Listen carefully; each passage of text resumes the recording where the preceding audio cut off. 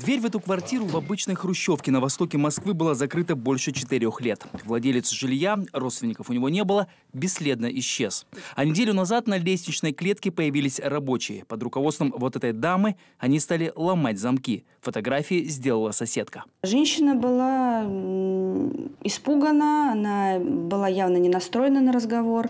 Сказала, что уже эта квартира в собственности и сюда скоро приедут новые жильцы. Оказалось, что еще в феврале у квартиры сменился собственник, и кто-то погасил 100-тысячный коммунальный долг. А это запись камеры видеонаблюдения. Во дворе дома сотрудники МУРа задерживают мужчину, который выносил из квартиры черный мешок. В нем оказались человеческие останки.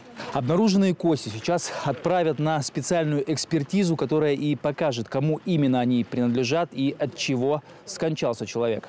Известно, что задержанный и его сообщник приехали сюда вот на этом автомобиле. В салоне нашли сразу 6 смартфонов и несколько сим-карт, а в багажнике – лопаты.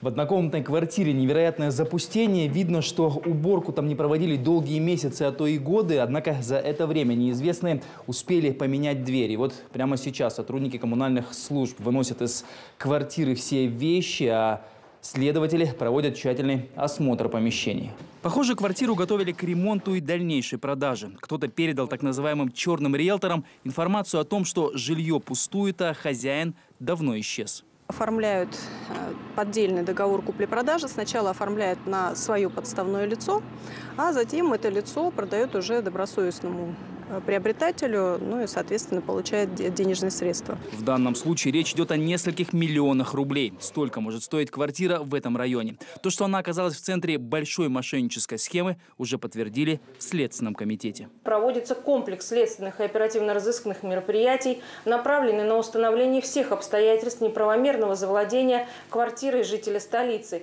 Как нам стало известно, пропавший хозяин квартиры мужчина, а обнаруженные внутри останки принадлежат пожилой женщине, женщине. Сейчас следователи выясняют, была ли ее смерть насильственной, а полиция ищет остальных участников преступления.